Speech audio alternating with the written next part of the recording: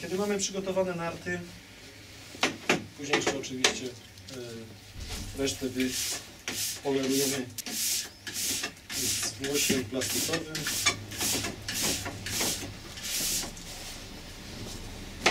Kiedy już jest cała powierzchnia nart zrobiona idealnie, wtedy właśnie, tak jak mówiłem, przygotowujemy tą komorę, która jest pod... Dlaczego to robimy? Trzymanie.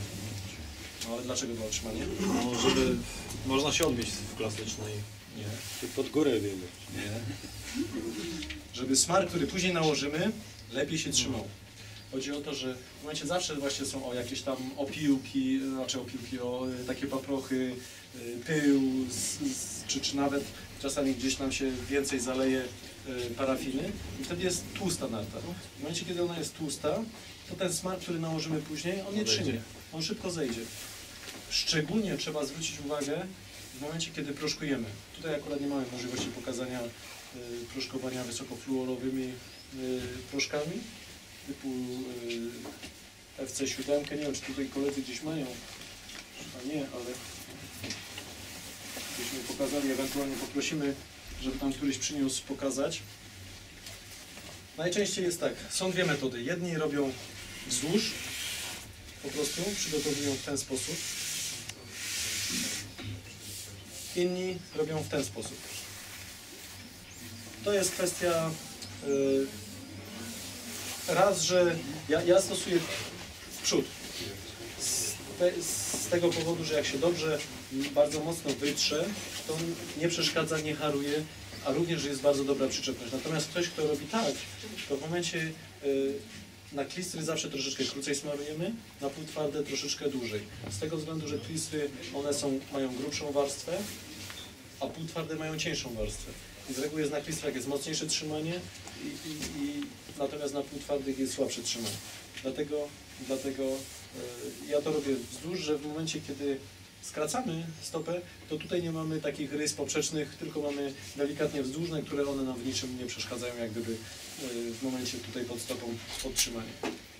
Kiedy już mamy przygotowaną tą komorę pod, pod, e, pod smar, e, dobrze jest często jeszcze benzynką y, przeczyścić po prostu jeszcze ten, ten, ten brud, który tutaj powstał. I w tym momencie mamy praktycznie nartę jałową, y, bardzo dobrze przygotowaną do tego, żeby nałożyć odpowiedni smak. Taką ekstrakcyjną, tak? Benzynką.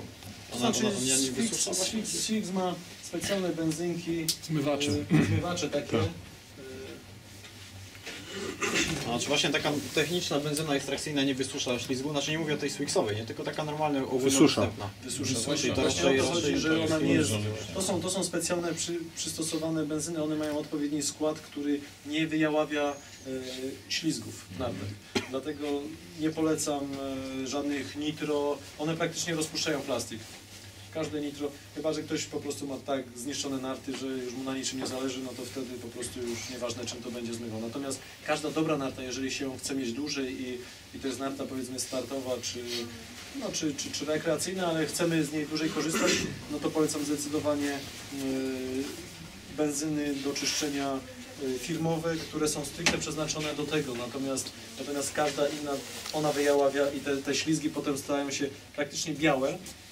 I znowu ten, ten proces żmudny nakładania tych parafin i jak gdyby bardzo długo trwa. Poza tym zachodzą, zachodzą takie nieodwracalne zmiany, jeżeli jest bardzo agresywny, bardzo agresywne jak nitro czy coś, to, to praktycznie są nieodwracalne zmiany w strukturze e, ślizgu i w ogóle nie polecam. Dlatego, dlatego polecam w szczególności właśnie e, benzyny przeznaczone stricte do, do zmywania. Później mamy tak, mamy dwa sposoby nakładania. E, Zakładamy bazę, czyli nakładamy normalnie jakąś tam warstwę. Są też sposoby. Jedni nakładają tak, inni nakładają tak.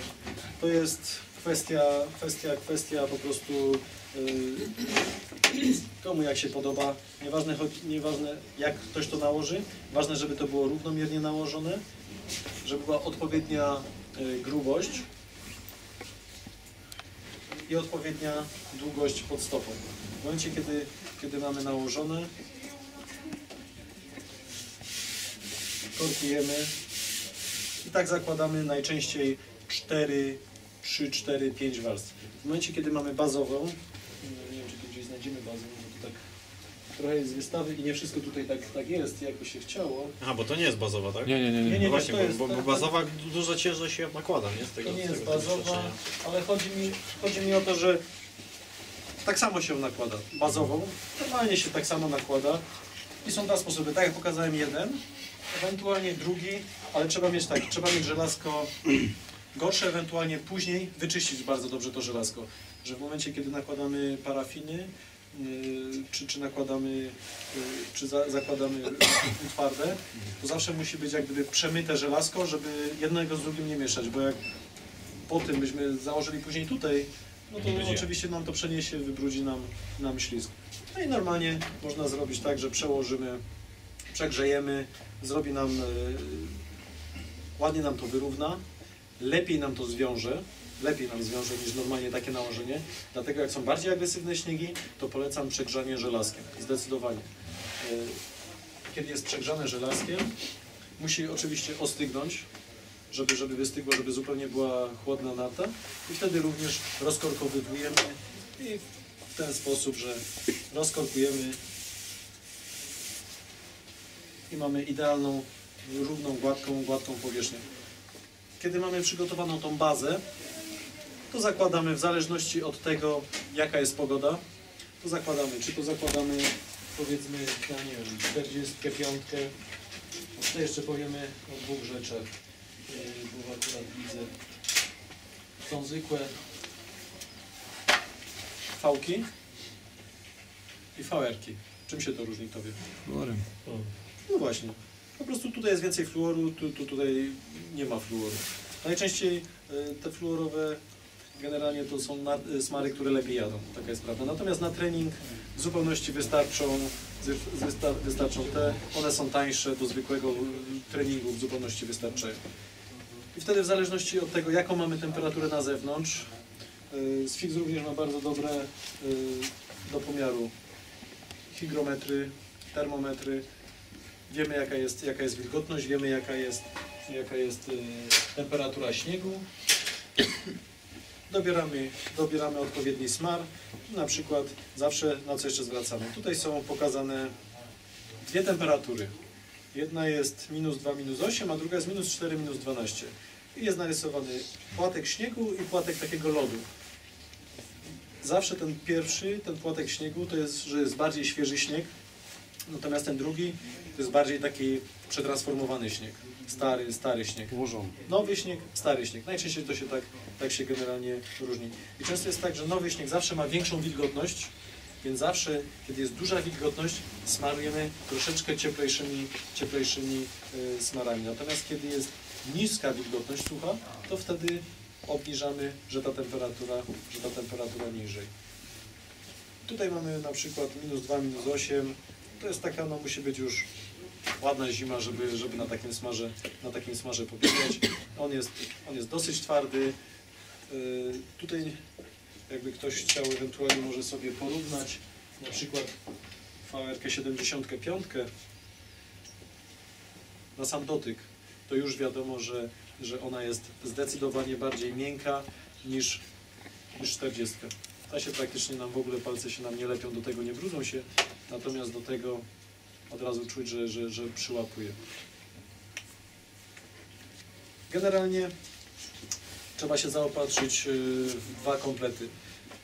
W całej gamie, czy to będą fałerki, czy to już w zależności od Was, natomiast no, przynajmniej te cieplejsze, to, to, polecam, to polecam fałerki, natomiast zupełnie zimne, bardzo zimne, to wystarczą nawet zwykłe fałki, bo tam nie potrzeba aż takiego wielkiego fluoru, kiedy są e, niskie, niskie temperatury. Kiedy mamy taką pełną, pełną gamę od 30 do 75 e, z półtwardych, no to jeszcze musimy się zaopatrzyć w coś takiego jak, jak, jak, jak klistry.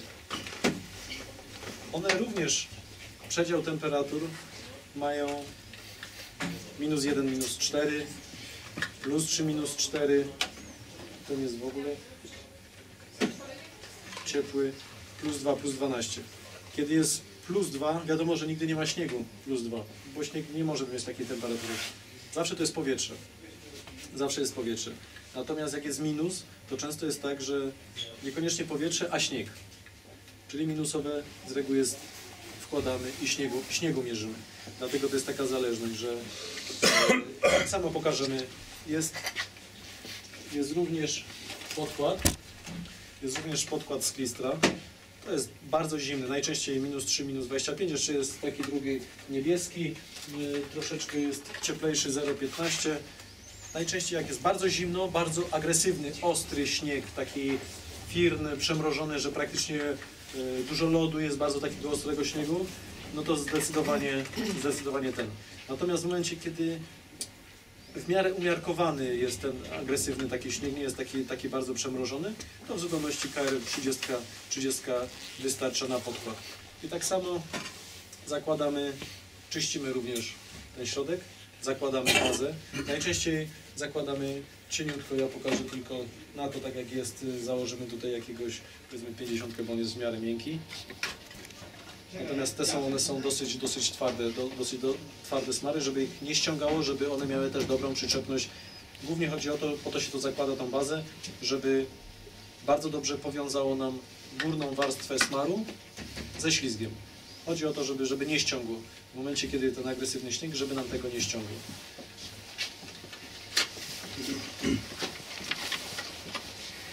W każdym pudełku najczęściej jest taka łopatka. Ta łopatka później służy do ściągania smaru, który najczęściej musimy się zaopatrzyć właśnie w zmywacz, w jakiś, czy to papier toaletowy, czy to jakieś szmatki, czy, czy w ogóle jest specjalny taki, taki papier przeznaczony do, do czyszczenia, do czyszczenia naw. Yy, Widzę tutaj, ale górę tutaj powinnam.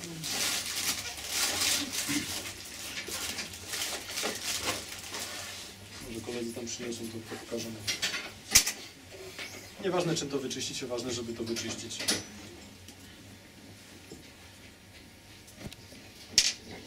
Jak zakładamy? Najczęściej jest tak, że na dworze jest, jest chłodno. Temperatura jest minusowa, ujemna, zimno jest. E, Więc te smary, jeżeli są na dworze, one są praktycznie nie do wyciśnięcia, bo tak stwardną w środku. Dlatego